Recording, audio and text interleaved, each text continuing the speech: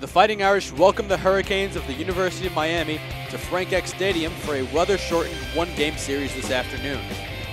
The Hurricanes jumped out to a 1-0 lead in the first inning after this bunt resulted in an error and allowed a run to score from first base.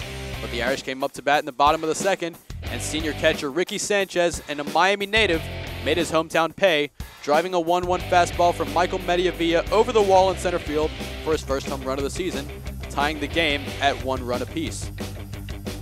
Miami took the lead right back, however, scoring three runs in the top of the third inning, two of which came on this double to deep center field by catcher Zach Collins.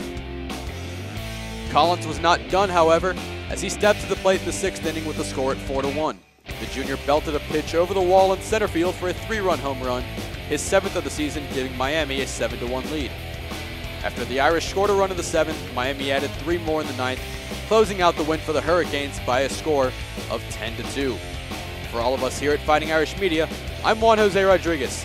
Until next time from Frank Eck Stadium, good night, go Irish.